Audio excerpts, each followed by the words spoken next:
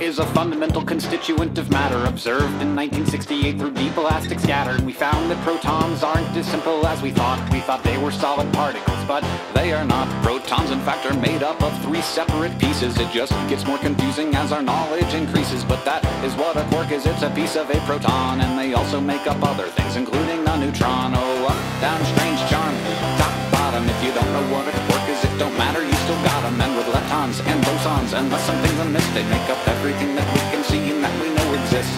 Things made up of quarks, including protons and neutrons, are composite particles that physicists call hadrons. Many types of hadrons are theoretically described, but most exist for only very brief amounts of time. Quarks have electric charge, color, charge, mass, and spin, and having color, charge means they exist solely inside of other kinds of particles and cannot exist alone, which is why quarks have never been studied on their own.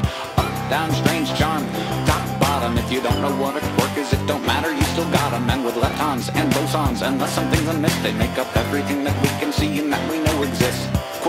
Together in two different ways. Baryons and mesons, but most instantly decay. If a particle has three quarks, then it's a baryon. And if there's one quark and an antiquark, then it is a meson. These tiny bits of matter are part of almost everything, and there is no unified theory to make it less confusing. But the fact that we've identified that they exist at all is so goddamn remarkable that I just sit in awe. Oh, up, down, strange charm, you don't know what a quark is, it don't matter, you still got them. And with leptons and bosons, unless something's amiss, they make up everything that we can see and that we know exists.